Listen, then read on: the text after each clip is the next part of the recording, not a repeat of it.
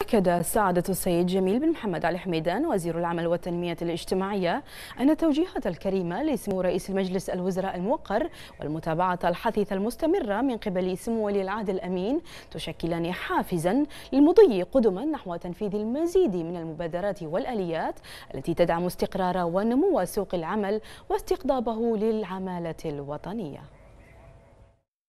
ثمن سعادة السيد جميل بن محمد علي حميدان وزير العمل والتنمية الاجتماعية. التوجيهات الكريمة لصاحب السمو الملكي رئيس مجلس الوزراء الموقر حفظه الله بتكثيف المبادرات والمشاريع التي تسهم في تعزيز التوظيف أمام الباحثين عن عمل. مقدرا إشادة سموه بجهود وزارة العمل والتنمية الاجتماعية في تنظيم المعارض المتخصصة للتوظيف بما يتيح لأصحاب العمل الحصول على احتياجاتهم من الكفاءات والكوادر مؤكدا أن هذه التوجيهات وكذلك على ضوء التوجيهات الكريمة والمتابعة الحثيثة المستمرة من قبل صاحب السمو الملكي ولي العهد الأمين النائب الأول لرئيس مجلس الوزراء حفظه الله تشكلان حافزا للمضي قدما نحو تنفيذ المزيد من المبادرات والآليات التي تدعم استقرار ونمو سوق العمل واستقطابه للعمالة الوطنية.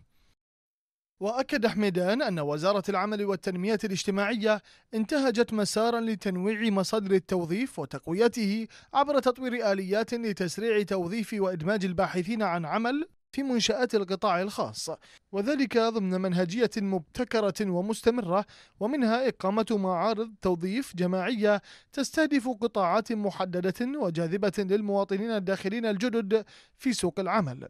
وأعلن حميدان أن عدد معارض التوظيف الجماعي التي أقامتها الوزارة خلال العام الماضي بلغت خمس معارض متخصصة ساهمت في توظيف 1841 مواطنا بحرينيا في مختلف القطاعات الإنتاجية وبأجور شهرية مناسبة.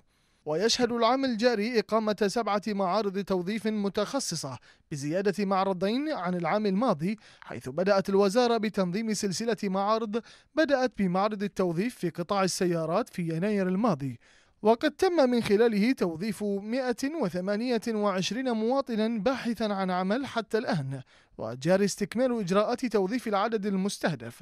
علما بأن خطة الوزارة في هذا العام تشمل تنظيم معارض في قطاعات البنوك والمصارف والمؤسسات المالية والقطاع الطبي والهندسي والتعليمي والإداري إضافة إلى معارض خاصة موجهة للمعاقين. وأكد الوزير أن الوزارة مستمرة في تطوير تنظيم معارض التوظيف المتخصصة لتحقيق أهدافها بما يتلائم مع المتغيرات المتسارعة في سوق العمل واتساع الأنشطة الاقتصادية فيه.